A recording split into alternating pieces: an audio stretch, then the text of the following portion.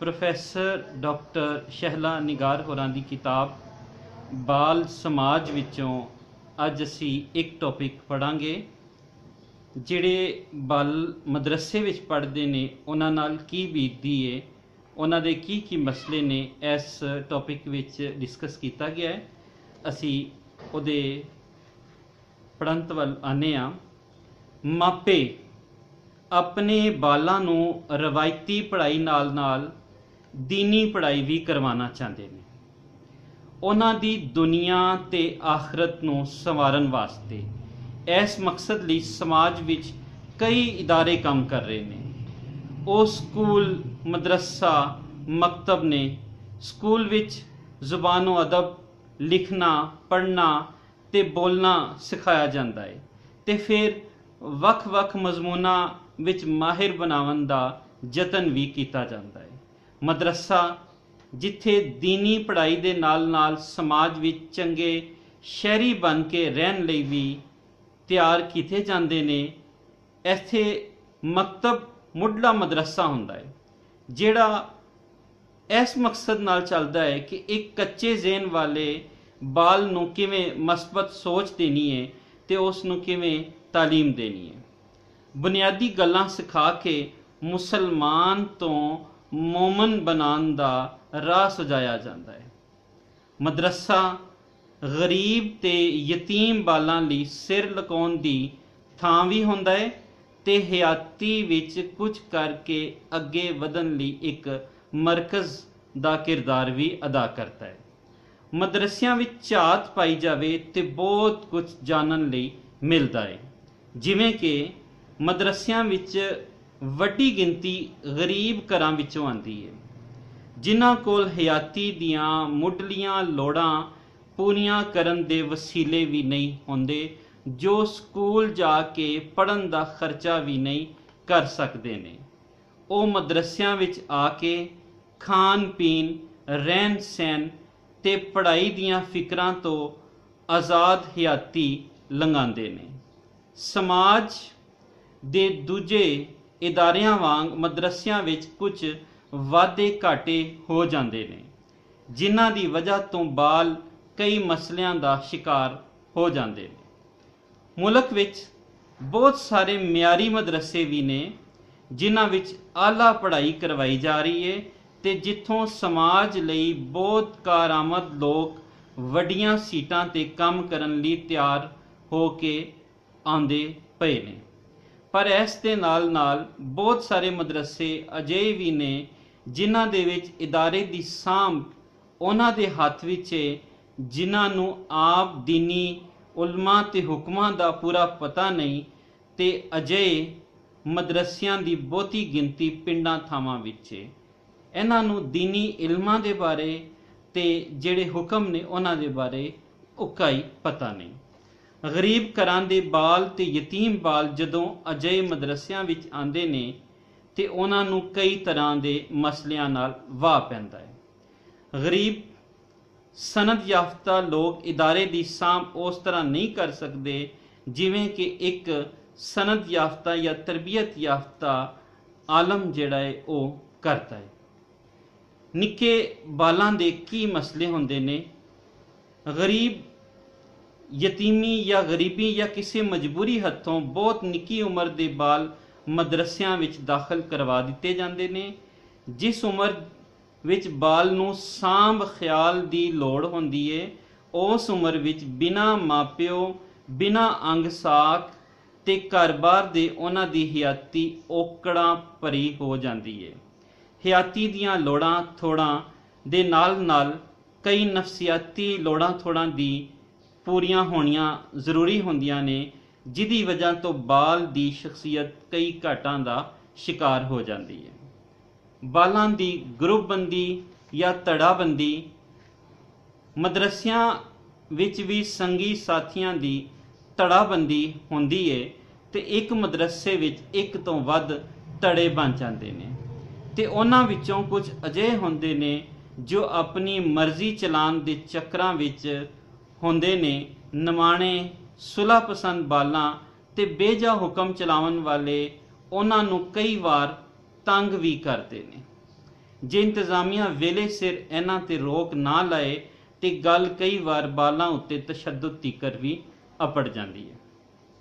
ਚੰਗੇ ਮਦਰਸੇ ਹਮੇਸ਼ ਵਧੀਆ ਪ੍ਰਬੰਧ ਕਰਕੇ ਰੱਖਦੇ ਨੇ, ਜਿਨ੍ਹਾਂ ਨਾਲ ਬਾਲਾਂ ਤੇ ਸਖਤ ਨਜ਼ਰ ਰੱਖਣ ਦੇ ਨਾਲ ਨਾਲ ਉਹਨਾਂ ਦੀ ਤਰਬੀਅਤ ਤੇ ਆਲ ਦੁਆਲੇ ਦੀ ਬਿਹਤਰੀ ਵੱਲ ਉਚੇਚਾ ਧਿਆਨ ਦਿੱਤਾ ਜਾਂਦਾ ਹੈ। ਤੇ ਇਹਨਾਂ ਮਦਰਸਿਆਂ ਦੇ ਨਾਲ ਅਜਿਹੇ ਮਦਰਸੇ ਵੀ ਹਨ ਜਿਨ੍ਹਾਂ ਵਿੱਚ ਆਏ ਦਿਹਾੜ ਬਾਲ ਇੱਕ ਦੂਜੇ ਨਾਲ ਖਹਿ ਜਾਂਦੇ ਨੇ ਤੇ ਕਈ ਵਾਰ ਇਹ ਗੁੱਸਾ ਲੜਾਈ, ਬੁਰੇ ਅਖੀਰ ਨੂੰ ਸਾਹਮਣੇ ਲੈ ਕੇ ਆਉਂਦੀ ਹੈ।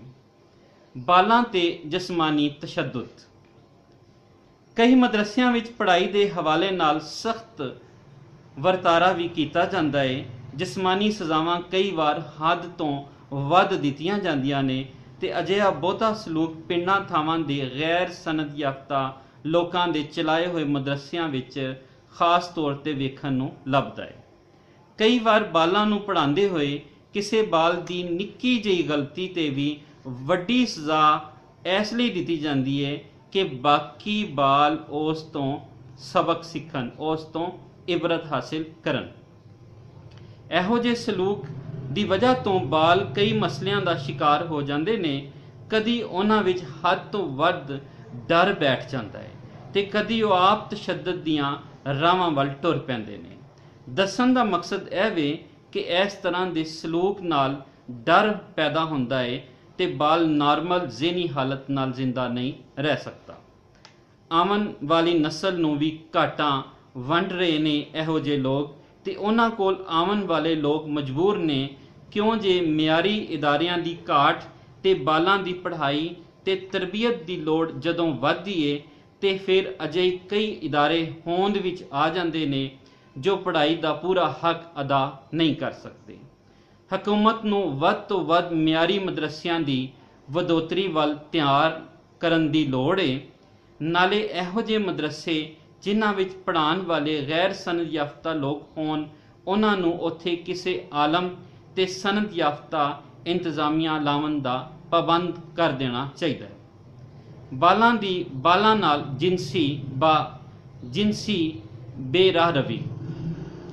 ਮਦਰਸਿਆਂ ਵਿੱਚ ਜਿੱਥੇ ਹਰ ਉਮਰ ਦੇ ਬਾਲ ਜਦੋਂ ਦਿਨ ਰਾਤ ਇਕੱਠੇ ਰਹਿੰਦੇ ਤੇ ਉਹਨਾਂ ਦੇ ਸਿਰ ਤੇ ਮਾਪਿਓ ਤੋਂ ਦੂਰੀ ਦੀ ਵਜ੍ਹਾ ਨਾਲ ਡਰ ਵੀ ਘਟ ਹੁੰਦਾ ਏ ਤੇ ਉਹ ਲੁਕ ਛੁਪ ਕੇ ਕਈ ਗਲਤ ਕੰਮਾਂ ਵਿੱਚ ਪੈ ਜਾਂਦੇ ਨੇ।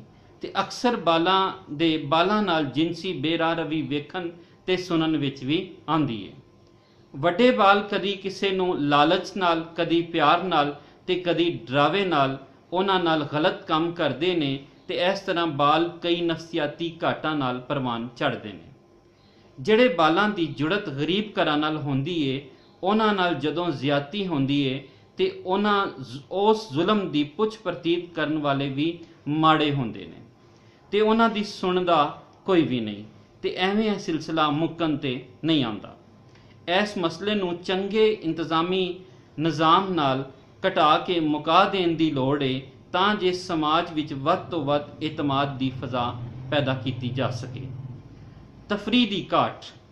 ਮਦਰਸਿਆਂ ਵਿੱਚ ਬਾਲਾਂ ਦੀ ਤਫਰੀਹ ਦੀ ਘਾਟ ਵੀ ਅਕਸਰ ਵੇਖਣ ਵਿੱਚ ਆਉਂਦੀ ਏ ਬਾਲਾਂ ਦਾ ਬਹੁਤਾ ਵੇਲਾ ਪੜਦਿਆਂ ਲੰਘਦਾ ਹੈ ਤੇ ਬਾਕੀ ਜੋ ਵੇਲਾ ਬਚ ਜਾਂਦਾ ਹੈ ਉਹਦੇ ਵਿੱਚ ਉਹਨਾਂ ਨੇ ਆਪਣੇ ਬਹੁਤ ਸਾਰੇ ਕੰਮ ਵੀ ਮੁਕਾਣੇ ਹੁੰਦੇ ਨੇ। ਜਿਵੇਂ ਕੱਪੜੇ ਧੋਣੇ ਇੰਜ ਦੇ ਨਿੱਕੇ ਨਿੱਕੇ ਕਈ ਹੋਰ ਕੰਮ। ਮਦਰਸੇ ਦੇ ਬਾਲਾਂ ਨੂੰ ਕੋਈ ਜੇਬ ਖਰਚ ਨਹੀਂ ਮਿਲਦਾ। ਜਿਸ ਕਰਕੇ ਉਹ ਜੇ ਕੋਈ ਪਸੰਦੀ ਸ਼ੈ ਖਰੀਦਣਾ ਵੀ ਚਾਹਨ ਤਾਂ ਉਹ ਨਹੀਂ ਖਰੀਦ ਸਕਦੇ, ਜਿਸ ਤਰ੍ਹਾਂ ਉਹਨਾਂ ਦੇ ਅੰਦਰ ਅਹਿਸਾਸੇ ਮਹਿਰੂਮੀ ਜਿਹੜਾ ਹੈ, ਉਹ ਵੱਧ ਜਾਂਦਾ ਹੈ। ਜਿਨ੍ਹਾਂ ਦੇ ਮਾਪੇ ਗਰੀਬ ਜਾਂ ਇਸ ਦੁਨੀਆ ਤੇ ਹੀ ਨਹੀਂ, ਉਹਨਾਂ ਦਾ ਕੋਈ ਹੋਰ ਵਸੀਲਾ ਵੀ ਨਹੀਂ ਹੁੰਦਾ। ਤੇ ਇਸ ਤਰ੍ਹਾਂ ਵੀ ਕਈ ਮਸਲੇ ਇਹਨਾਂ ਬਾਲਾਂ ਨੂੰ ਹੁੰਦੇ ਨੇ, ਜਿਨ੍ਹਾਂ ਦੇ ਮਾਪਿਓ ਖਾਂਦੇ ਪੀਂਦੇ ਘਰਾਂ ਦੇ ਉਹਨਾਂ ਲਈ ਕਈ ਸੌਖਤਾਂ ਹੁੰਦੀਆਂ ਨੇ ਤੇ ਇੰਤਜ਼ਾਮੀਆਂ ਵੀ ਉਹਨਾਂ ਨਾਲ ਸਖਤੀ ਵਿੱਚ ਹੱਥ ਹੋਲਾ ਰੱਖਦੀ ਹੈ ਜਿਨਸੀ ਤਸ਼ੱਦਦ, ਜਿੱਥੇ ਬਾਲ ਰਲ ਕੇ ਰਹਿੰਦੇ ਹੋਣ ਜਿਨਸੀ ਬੇਰਾਰਵੀ ਦਾ ਸ਼ਿਕਾਰ ਹੋ ਜਾਂਦੇ ਨੇ, ਉੱਥੇ ਕਈ ਵਾਰ ਉਹਨਾਂ ਨਾਲ ਹੱਦ ਤੋਂ ਵੱਧ ਜਿਨਸੀ ਤਸ਼ੱਦਦ ਹੋਣ ਦੀਆਂ ਖਬਰਾਂ ਵੀ ਆਏ ਦਿਹਾੜ ਸੁਣਨ ਨੂੰ ਮਿਲਦੀਆਂ ਨੇ। ਇਹਨਾਂ ਖਬਰਾਂ ਵਿੱਚ ਕਈ ਵਾਰ ਐਸੇ ਲੋਕ ਵੀ ਫੜੇ ਜਾਂਦੇ ਨੇ, ਜਿਨ੍ਹਾਂ ਨੇ ਆਲਮਾ, ਇਮਾਮਾਂ ਤੇ ਕਾਰੀਆਂ ਦੇ ਰੂਪ ਵਟਾਏ ਹੁੰਦੇ ਨੇ। ਕੋਈ ਵੀ ਆਲਮ, ਇਮਾਮ, ਕਾਰੀ ਅੱਲਾ ਦਾ ਨਾਂ ਤੇ ਕਲਾਮ ਪੜਾਉਣ ਵਾਲਾ ਕਦੀ ਗਲਤ ਕੰਮ ਕਰਨਾ ਕੀ ਉਹਦਾ ਸੋਚ ਵੀ ਨਹੀਂ ਸਕਦਾ। ਜੋ ਲੋਕ ਗਲਤ ਮਕਸਦਾਂ ਵਿੱਚ ਪੈ ਜਾਂਦੇ ਨੇ, ਉਹ ਉਹਨਾਂ ਨੂੰ ਪੂਰਾ ਕਰਨ ਲਈ ਰੂਪ ਵਟਾ ਕੇ ਲੋਕਾਂ ਦਾ ਇਤਬਾਰ ਤੇ ਯਕੀਨ ਹਾਸਿਲ ਕਰਦੇ ਨੇ। ਇਹੋ ਜਿਹੇ ਸਭ ਲੋਕਾਂ ਨੂੰ ਫੜਨਾ ਅਤ ਜ਼ਰੂਰੀ ਏ ਤੇ ਇਹਨਾਂ ਨੂੰ ਵੱਡੀ ਸਜ਼ਾ ਦੇਣੀ ਚਾਹੀਦੀ ਹੈ ਮਦਰਸੇ ਦੀ ਇੰਤਜ਼ਾਮੀਆਂ ਦੀ ਚੋਣ ਚੰਗੀ ਤਰ੍ਹਾਂ ਜਾਣਕਾਰੀ ਤੋਂ ਬਾਅਦ ਹੋਣੀ ਚਾਹੀਦੀ ਹੈ ਹਰ ਮਦਰਸਾ ਸਰਕਾਰੀ ਤੌਰ ਤੇ ਰਜਿਸਟਰਡ ਹੋਣਾ ਚਾਹੀਦਾ ਹੈ ਪੂਰੇ ਕਾਨੂੰਨ ਤੇ ਕਾਇਦੇ ਦੇ ਨਾਲ ਨਾਲ ਤਾਂ ਜੇ ਇਹਨਾਂ ਕਾਲੀਆਂ ਭੇਡਾਂ ਤੋਂ ਮਦਰਸਿਆਂ ਨੂੰ ਪਾਕ ਕੀਤਾ ਜਾ ਸਕੇ ਤੇ ਆਉਣ ਵਾਲੀ ਨਸਲ ਦੇ ਪੜਿਆਰਾਂ ਨੂੰ ਇਹਨਾਂ ਮਸਲਿਆਂ ਤੇ ਜੁਰਮਾਂ ਤੋਂ ਬਚਾਇਆ ਜਾ ਸਕੇ। ਮਾਜ਼ੀ ਵਿੱਚ ਜਿਸ ਤਰ੍ਹਾਂ ਮਦਰਸਿਆਂ ਦੀ ਆਨ ਬਾਨ ਸ਼ਾਨ ਸੀ, ਉਸ ਨੂੰ ਵਾਪਸ ਲਿਆਉਣ ਦੀ ਲੋੜ ਹੈ ਉਹਨਾਂ ਮਦਰਸਿਆਂ ਵਿੱਚ ਕੁਰਾਨ ਸੁਨਨਤ ਨੂੰ ਮੁੱਖ ਰੱਖ ਕੇ ਦੁਨੀਆ ਜਹਾਨ ਦੇ ਇਲਮ ਹਾਸਲ ਕੀਤੇ ਗਏ ਤੇ ਉਹਨਾਂ ਇਲਮਾਂ ਨਾਲ ਪੂਰੀ ਦੁਨੀਆ ਤੇ ਆਪਣਾ ਆਪ ਮਨਵਾਇਆ ਵੀ ਗਿਆ।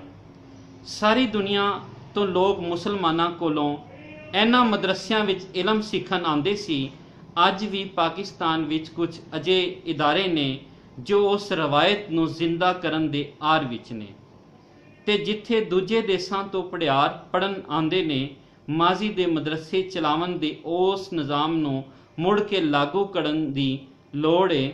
ਤੇ ਉਹਦੀ ਵਧੋਤੜੀ ਦੀ ਵੀ ਲੋੜ ਏ, ਜੋ ਸਭ ਦੀ ਸਾਂਝੀ ਮਿਹਨਤ ਤੇ ਆਰ ਨਾਲ ਹੀ ਸਿਰੇ ਚੜ ਸਕੇ।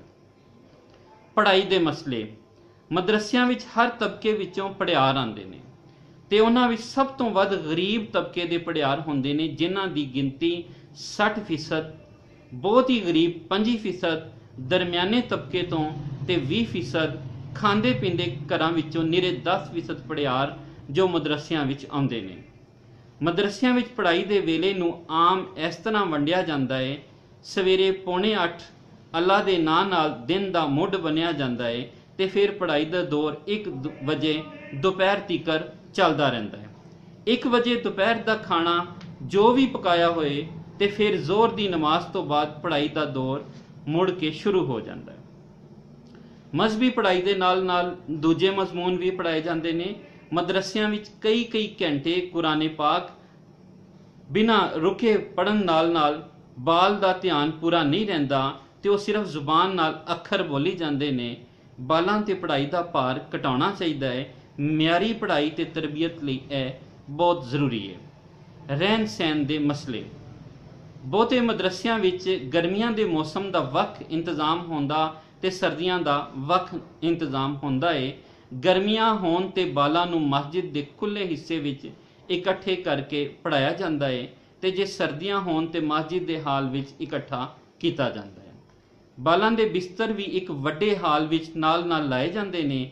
ਇਹਨਾਂ ਬਾਲਾਂ ਦੀ ਦੇਖ ਰੇਖ ਲਈ ਲੋਕ ਰੱਖੇ ਜਾਂਦੇ ਨੇ। ਉਹਨਾਂ ਤੇ ਵੀ ਨਜ਼ਰ ਰੱਖਣੀ ਜ਼ਰੂਰੀ ਹੈ ਹਰ ਤਰ੍ਹਾਂ ਦੇ ਬਾਲ ਮਦਰਸੇ ਵਿੱਚ ਆਉਂਦੇ ਨੇ। ਜਿੱਥੇ ਬਾਲ ਦੀਨੀ ਪੜ੍ਹਾਈ ਲਈ ਦਾਖਲਾ ਲੈਂਦੇ, ਉੱਥੇ ਕਈ ਬਾਲ ਗਰੀਬੀ ਤੇ ਯਤੀਮੀ ਦੇ ਹੱਥੋਂ ਹੀ ਇੱਥੇ ਅੱਪੜ ਜਾਂਦੇ ਨੇ। ਤੇ ਕਈਆਂ ਦੇ ਮਾਪੇ ਆਪ ਰੋਂਦੇ ਕੁਰਲਾਉਂਦੇ ਬਾਲ ਨੂੰ ਕਈ ਮਜਬੂਰੀਆਂ ਦੇ ਹੱਥੋਂ ਛੱਡ ਜਾਂਦੇ ਨੇ, ਜਿਸ ਤਰ੍ਹਾਂ ਮਾਂ ਦਾ ਦੂਜਾ ਵਿਆਹ ਜਾਂ ਮਤਰੇ ਪਿਓ ਦੀ ਬਦਸਲੂਕੀ, ਲੜਾਈ, ਮਾਰ ਕੁਟਾਈ ਵਰਗੇ ਮਸਲੇ ਇਹ ਕੰਮ ਕਰਨ ਦਾ ਕਾਰਨ ਬਣਦੇ ਨੇ। ਬਾਲ ਮਾਪਿਆਂ ਤੋਂ ਦੂਰ ਆਪਣੇ ਪੂਰੇ ਧਿਆਨ ਨਾਲ ਪੜਨ ਉਹ ਵੀ ਇਹੋ ਜਿਹੇ ਹਾਲਾਂ ਵਿੱਚ ਛੱਡੇ ਹੋਏ ਬਾਲ ਕਿਵੇਂ ਕਰ ਸਕਦੇ ਨੇ? ਕਈ ਵਾਰ ਬਾਲ ਆਪਣੇ ਆਲ ਦੁਆਲੇ ਦੇ ਮਾਹੌਲ ਤੋਂ ਆਜ਼ਾਦੀ ਵੀ ਚਾਹੁੰਦੇ ਨੇ ਤੇ ਕਈ ਵਾਰ ਪਹਿਰਾ ਦੇਣ ਵਾਲੇ ਦੀ ਅੱਖ ਤੋਂ ਬਚ ਕੇ ਮਦਰਸੇ ਤੋਂ ਬਾਹਰ ਵੀ ਨਿਕਲ ਜਾਂਦੇ ਨੇ। ਤੇ ਉਹਨਾਂ ਦਾ ਇਸ ਤਰ੍ਹਾਂ ਬਾਹਰ ਨਿਕਲ ਜਾਣਾ ਵੀ ਉਹਨਾਂ ਨੂੰ ਕਿਸੇ ਖਤਰੇ, ਕਿਸੇ ਮਸਲੇ ਵਿੱਚ ਪਾ ਸਕਦਾ ਹੈ। ਚੰਗੇ ਇੰਤਜ਼ਾਮ ਨਾਲ ਮਦਰਸਿਆਂ ਵਿੱਚ ਹੋਣ ਵਾਲੇ ਮਸਲਿਆਂ ਤੇ ਕਾਬੂ ਪਾਇਆ ਜਾ ਸਕਦਾ ਹੈ। ਫਿਰ ਉਹ ਮਦਰਸੇ ਜੋ ਰਜਿਸਟਰਡ ਨਹੀਂ ਨੇ, ਜਿਨ੍ਹਾਂ ਦਾ ਅਮਲਾ ਗੈਰ ਸਨਦ ਯਾਫਤਾ ਹੈ ਉਹਨਾਂ ਵਿੱਚ ਬਾਲਾਂ ਦੀ ਸਾਂਭ ਸਹੀ ਤਰ੍ਹਾਂ ਨਹੀਂ ਹੁੰਦੀ। ਚੋਰੀ। ਮਦਰਸਿਆਂ ਵਿੱਚ ਬਾਲ ਇੱਕ ਦੂਜੇ ਦੀਆਂ ਸ਼ੈਵਾਂ ਚੋਰੀ ਕਰ ਲੈਂਦੇ ਨਿੱਕੀਆਂ ਨਿੱਕੀਆਂ ਚੋਰੀਆਂ ਕਦੀ-ਕਦੀ ਵੱਡੀ ਚੋਰੀ ਬਣ ਕੇ ਵੀ ਸਾਹਮਣੇ ਆ ਜਾਂਦੀਆਂ ਨੇ। ਚੋਰੀ ਦੀ ਵਜ੍ਹਾ ਹਮੇਸ਼ ਕਿਸੇ ਸ਼ੈ ਦੀ ਘਾਟ ਤੇ ਚਾਹ ਹੁੰਦੀ ਹੈ ਭਾਵੇਂ ਚੋਰੀ ਵੱਡੀ ਹੋਵੇ ਜਾਂ ਨਿੱਕੀ, ਬਾਲ ਭਾਵੇਂ ਖਾਣ ਪੀਣ ਦੀ ਚੋਰੀ ਕਰਨ ਜਾਂ ਆਮ ਵਰਤੋਂ ਦੀਆਂ ਸ਼ੈਵਾਂ ਇਹ ਸਭ ਵਸੀਲਾ ਨਾ ਹੋਣ ਦੀ ਘਾਟ ਨਾਲ ਚਾਹ ਦੀ ਦੇਣ ਨੇ। ਇਸ ਲਈ ਮਦਰਸਿਆਂ ਵਿੱਚ ਇਹਨਾਂ ਮਸਲਿਆਂ ਨੂੰ ਵੀ ਸੁਧਾਰਨ ਦੀ ਲੋੜ ਹੈ ਮਦਰਸਿਆਂ ਵਿੱਚ ਬਾਲਾਂ ਦੇ ਮਸਲਿਆਂ ਨੂੰ ਚੰਗੀ ਤਰ੍ਹਾਂ ਸਮਝਣ ਲਈ ਮਦਰਸਿਆਂ ਦੇ ਪਛੋਕੜ ਨੂੰ ਸਾਹਮਣੇ ਰੱਖਦਿਆਂ ਗੱਲ ਅਪੜਾਉਣ ਦਾ ਆਰ ਕੀਤਾ ਗਿਆ ਹੈ ਮੁਸਲਮਾਨ ਜੋ ਆਪਣੇ ਚਮਕੀਲੇ ਦੌਰ ਵਿੱਚ ਦੁਨੀਆ ਦੇ ਆਗੂ ਸਨ, ਇਹਨਾਂ ਮਦਰਸਿਆਂ ਦੀ ਦੇਣ ਸਨ, ਜਿੱਥੋਂ ਇਲਮ ਨੂੰ ਸਿੱਖਣ ਸਿਖਾਉਣ ਵਾਲੇ ਵੱਡੇ ਵੱਡੇ ਮੁਸਲਮਾਨ ਮੁਸਲਮਾਨ ਸੂਝਵਾਨ, ਜਿੱਥੇ ਤਿਬ, ਫਲਕੀਆਤ, ਸ਼ਮਾਰੀਆਤ, ਫਲਸਫਾ ਤੇ ਅਜੇ ਹੋਰ ਮਜ਼ਮੂਨਾਂ ਨੂੰ ਸਿੱਖਣ ਵਾਸਤੇ ਸਾਰੀ ਦੁਨੀਆ ਤੋਂ ਪੜਿਆਰ ਆਉਂਦੇ ਸਨ ਤੇ ਆਪਣੇ ਇਸ ਇਲਮ ਦੇ ਕਾਰਨ ਮੁਸਲਮਾਨ ਸਾਰੀ ਦੁਨੀਆ ਉੱਤੇ ਰਾਜ ਵੀ ਕਰਦੇ ਰਹੇ। ਤੇ ਉਸ ਦੌਰ ਵਿੱਚ ਬਾਲਾਂ ਨੂੰ ਮਦਰਸਿਆਂ ਵਿੱਚ ਅਜੇ ਕੋਈ ਮਸਲੇ ਨਹੀਂ ਸਨ ਜੋ ਅੱਜ ਦੇ ਦੌਰ ਵਿੱਚ ਨੇ ਤੇ ਉਹਦੀ ਵਜ੍ਹਾ ਸਾਫ਼ ਸਾਹਮਣੇ।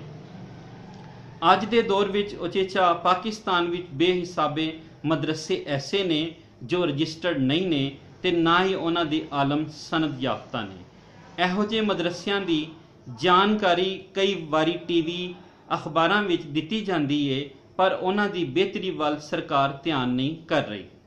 ਜਿਹਦੀ ਵਜ੍ਹਾ ਤੋਂ ਹਰ ਆਉਣ ਵਾਲੇ ਦਿਨ ਨਾਲ ਕੋਈ ਨਾ ਕੋਈ ਐਸਾ ਵਾਕਿਆ ਜਾਂ ਹਾਦਸਾ ਅਖਬਾਰਾਂ ਵਿੱਚ ਪੜਨ ਨੂੰ ਮਿਲਦਾ ਏ ਜਿਹਦਾ ਸਿਰਾ ਇਹੋ ਜਿਹੇ ਬਗੈਰ ਰਜਿਸਟਰਡ ਮਦਰਸਿਆਂ ਜਾਂ ਗੈਰ ਸਨਦ ਯਾਫਤਾ ਲੋਕਾਂ ਨਾਲ ਜੁੜਿਆ ਨਿਕਲਦਾ ਹੈ। ਮਦਰਸਿਆਂ ਦੀ ਪਹਿਲੀ ਵਾਂਗ ਸ਼ਾਨ ਨੂੰ ਵਾਪਸ ਲਿਆਉਣ ਵਾਸਤੇ ਇਹਨਾਂ ਸਾਰੀਆਂ ਗੱਲਾਂ ਵੱਲ ਧਿਆਨ ਦੇ ਕੇ ਅਮਲ ਕਰਨ ਦੀ ਲੋੜ ਹੈ। ਐਸਾ ਅਮਲ ਜਿਸ ਨਾਲ ਪਾਕਿਸਤਾਨ ਦੇ ਬਾਲ ਹਿਫਾਜ਼ਤ, ਖਿਆਲ ਨਾਲ ਪਰਵਾਨ ਚੜਾਏ ਜਾ ਸਕਣ, ਜਿੱਥੇ ਉਹਨਾਂ ਦੀ ਤਰਬੀਅਤ ਜ਼ਿੰਮੇਵਾਰ ਹੱਥਾਂ ਵਿੱਚ ਹੋਵੇ, ਜਿੱਥੇ ਉਹਨਾਂ ਦੇ ਵਜੂਦ ਨਾਲ ਸੋਚ ਨੂੰ ਵੀ ਕਿਸੇ ਤਰ੍ਹਾਂ ਦਾ ਖਤਰਾ ਨਾ ਹੋਵੇ। ਬਾਲ ਸਾਡਾ ਮੁਸਤਕਬਲ ਹੁੰਦੇ ਨੇ, ਜਿਨ੍ਹਾਂ ਨੂੰ ਹਾਲ ਵਿੱਚ ਜੇ ਸਹੀ ਤਰ੍ਹਾਂ ਨਾ ਸੰਭਿਆ ਜਾਏ, ਨਾ ਸੰਵਾਰਿਆ ਜਾਏ, ਨਾ ਤਰਬੀਅਤ ਕੀਤੀ ਜਾਏ, ਤੇ ਉਹ ਕਦੀ ਵੀ ਚੰਗੀ ਬਾਇਤਮਾਦ ਕੌਮ ਬਣ ਕੇ ਸਾਡੇ ਸਾਹਮਣੇ ਨਹੀਂ ਆਉਣਗੇ। ਸਰਕਾਰ ਇਹਨਾਂ ਮਦਰਸਿਆਂ ਨੂੰ ਸਰਕਾਰੀ ਮਦਦ ਦੇਣ ਦੇ ਨਾਲ-ਨਾਲ ਇੱਕ ਨਿਜ਼ਾਮ ਦੇ ਤਹਿਤ ਚਲਾਉਣ ਲਈ ਯਤਨ ਕਰ ਰਹੀ ਹੈ ਇਸ ਨਿਜ਼ਾਮ ਨੂੰ ਵਧੀਆ ਬਣਾਉਣ ਲਈ ਯਤਨ ਕਰਦੇ ਰਹਿਣ ਨਾਲ ਨਵੇਂ ਦੌਰ ਦੀਆਂ ਲੋੜਾਂ ਨਾਲ ਇਸ ਨੂੰ ਉਹਨਾਂ ਮੁਤਾਬਿਕ ਕੀਤਾ ਜਾ ਸਕਦਾ ਹੈ ਸਰਕਾਰ ਨੂੰ ਇਸ ਹਵਾਲੇ ਨਾਲ ਕਈ ਇਦਾਰਿਆਂ ਨੂੰ ਮੁਤਹਰਕ ਕਰਨ ਦੀ ਲੋੜ ਏ ਤਾਂ ਜੋ ਨਵੀਂ ਪੀੜ੍ਹੀ ਨੂੰ ਸਾਂਭਿਆ ਜਾ ਸਕੇ। ਇਹ ਸੀ ਅੱਜ ਦਾ ਟੌਪਿਕ ਜੋ ਸੀ ਡਾਕਟਰ ਸ਼ਹਿਲਾ ਨਿਗਾਰ ਹੋਰਾਂ ਦੀ ਕਿਤਾਬ, ਬਾਲ ਸਮਾਜ ਵਿੱਚੋਂ ਤੁਹਾਡੇ ਨਾਲ ਸਾਂਝਾ ਕੀਤਾ। ਇੱਕ ਵਾਰੀ ਫਿਰ ਕਿਤਾਬ ਦਾ ਟਾਈਟਲ ਤੁਸੀਂ ਦੇਖ ਲਵੋ। ਇੱਕ ਕਿਤਾਬ ਦੇ ਵਿੱਚ ਬਾਲਾਂ ਦੇ ਨਾਲ ਜੁੜੀਆਂ ਜਿਹੜੇ ਮਸਲੇ ਨੇ, ਬਾਲਾਂ ਦੇ ਮਸਲਿਆਂ ਨੂੰ ਮੌਜੂ ਬਣਾਇਆ ਗਿਆ ਹੈ। ਇਹ ਸੀ ਅੱਜ ਦਾ ਸਾਡਾ ਟੌਪਿਕ